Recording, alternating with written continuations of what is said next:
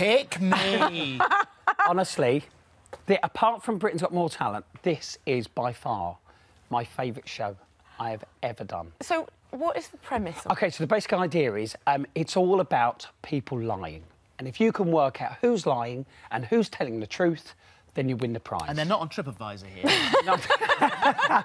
No, but the great thing is, I, I know I've spoke to you about this film already, but I'm allowed to pick whoever I want. And when they told me about the idea, they were, look, people are going to come however they want. They can dress normally, they can dress up, Well, I was going to ask, why are they all in fancy dress? because they want to stand out and they want to get picked. Right. So I'll go up and I'll go, right, gorilla, get yourself down here. This, and then it gets revealed, bang, they're lying.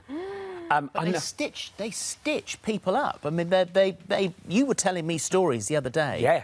People who look look someone in the face and say, uh, you know, you can trust me on this one. You can trust me on this. Well, the thing is, is that here's a, an exclusive for you. The guy who created the show is a guy called Glenn, who was the banker on Deal No Deal. Oh. So he's created that sort of uh, you know, Lies and ord- deceit. yes, and you know, Oh. he knows how to play it, which is brilliant.